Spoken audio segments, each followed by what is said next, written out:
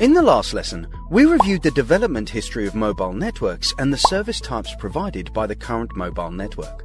Looking into the future, let's explore new requirements and services of mobile networks. Now, smartphones are becoming more and more popular with the diversity of services and applications. However, some services and applications cannot be supported by 4G networks. These include 4K and 8K video, augmented reality or AR, virtual reality or VR, Internet of Vehicles or IOV, and others. They define the development trends of mobile networks. What are their trends? We will tell you one by one in this lesson. The first trend is the increase in data traffic. The explosive growth of mobile data traffic requires a higher rate of the mobile network. For example, it takes 70 minutes to download an 8GB HD movie using a 3G network at a download rate of 14 megabits per second. 7 minutes using a 4G network at a downlink rate of 150 megabits per second. However, 7 minutes remains a long period of time. Customers require a second level download experience. Therefore, the downlink rate must reach 10 gigabits per second or higher to provide a better service experience for customers. Let's look at a killer application of mobile broadband in the future VR. In recent years, VR has become increasingly popular. Many internet companies and technology giants have been engaged in the VR development. In the future, the VR application scope will further expand and VR will apply to various fields such as entertainment and education. At the Mobile World Congress MWC 2017, many large automotive companies used VR to present their products and solutions. VR enables viewers to understand the highlights of their automated driving cars more immersively. This indicates that the live VR has become a new form of demonstration for exhibitions and press conferences. In the future, more industries and enterprises will use VR to present their solutions and products. VR services will increase video traffic and require a higher data rate. The ideal VR experience requires a data rate of 2 gigabits per second, which is not supported by the 4G network. The second trend is the increase in the number of connections. With development of smart cities, there are more and more connections on our networks. In addition to people's connections, people and things, and things and things are gradually connected. Water meters, gas meters, and street lamps can also be connected to the network. This requires the capability of mobile communications to connect more things. Although 4G can enable each cell to provide thousands of connections, it cannot meet the connectivity needs of everything in a fully connected world. In the future, the number of connections per square kilometer will reach 1 million, which is an exponential growth. The connection will penetrate into all fields of the society in the future, namely Internet of Things. From the connection between people to the connection between people and things, as well as the connection between things, the whole society will be transformed through mobile interconnectivity, greatly improving social efficiency. The future network will have hundreds of billions of intelligent nodes. All things in our lives will be connected, including our glasses, watches, and shoes. Additionally, the connections of transfer boxes, forklift trucks, and robotic arms will bring benefits to industrial applications. The third trend is the diversification of service scenarios. Traditional mobile networks provide basic voice and data services. However, future mobile networks will gradually expand to various areas of daily life and social economy. Take automated driving as an example. Internet of Vehicles based automated driving requires an efficient coordination between vehicles and between vehicles and infrastructures. This imposes high requirements on latency. For automated driving, the latency of the mobile network must be limited to the millisecond level to ensure security.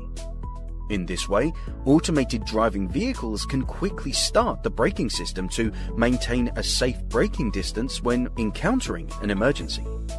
In the future, the mobile network needs to offer an ultra-low latency of milliseconds, which will increase the response speed of the mobile network by dozens of times more than that of the 4G network. To summarize, mobile networks are expected to provide a high rate, massive connectivity, and ultra low latency, thereby supporting new services and applications. The 1,000 fold growth of mobile data traffic, hundreds of billions of connections, and ultra low latency required by the Internet of Vehicles are the development trend of mobile networks and the problems to be solved on these networks. Facing these service development trends, we need a next generation mobile communications network. That is, the fifth generation mobile communication system, or 5G. Who defines 5G? Since 2012, the International Telecommunication Union, or ITU, has been carrying out a research on 5G vision and technology trends in the industry.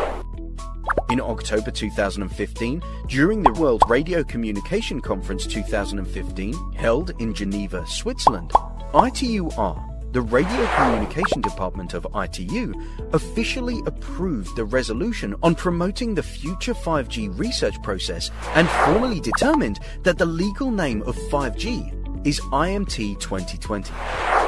After two years of research, ITU's research on the 5G vision have been essentially completed. 5G is expected to give users information and access to everything as required anytime, anywhere in the future. 5G is an end-to-end ecosystem to enable a fully mobile and connected society. 5G can meet the full interconnection requirements of personal wearable devices, smart home and cloud office, as well as requirements of industries such as agriculture, medical care, education, transportation, finance and environment. In order to achieve the overall vision of 5G and provide the services that cannot be implemented on 4G networks, the ITU defined three types of 5G application scenarios in June 2015. They are Enhanced Mobile Broadband, or EMBB, Massive Machine Type Communications, or MMTC, and Ultra Reliable and Low Latency Communications, or URLLC. In terms of throughput, latency, and connection density, new capability requirements are defined for 5G networks, including 10 gigabit per second peak throughput, 1 millisecond ultra low latency, and 1 million connections per square kilometer. Now, let's look at how these three types of application scenarios will change our lives. The first is the EMBB scenario. The peak rate of 10 gigabits per second on the 5G network enables us to access the network anytime, anywhere, with a high rate and enjoyable new services such as VR and AR. You can also share what you see through the 5G network anytime, anywhere. You no longer need to worry about sending videos at a concert. The MMT scenario mainly involves massive connectivity enabling all the things in the entire society to be perceptible. The 5G network supports up to 1 million connections per square kilometer. In this way, our personal wearable devices, smart home devices, and smart city devices can easily access the network to enable a smart life. The shared bicycles, water meters, gas meters, and street lamps can also access the network and provide customized services for users based on connections. Finally, let's learn about URLLC scenario. With the ultra-low latency of 1 millisecond on 5G networks, we can experience the convenience brought by telemedicine and automated driving and make smart industrial manufacturing a reality. Based on the URLLC application scenario, automated driving and smart manufacturing will be important applications of 5G in key vertical industries. By the end of 2017, Huawei Wireless X Labs signed a Memorandum of Understanding, or MOU, with multiple global industrial robot and automobile companies to jointly promote the development of 5G in vertical industries. 5G will penetrate into various fields of the society in the future and build a user-centric comprehensive information ecosystem.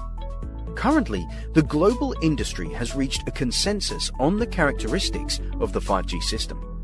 The system meets diversified service requirements and applies to multiple scenarios. On the basis of the 4G system, 5G greatly improves user experience and implements optimal resource configuration. This lesson describes the development trend of mobile services and three types of 5G service scenarios EMBB, MMTC, and URLLC. In the next lesson, we will discuss 5G protocol standardization and deployment progress.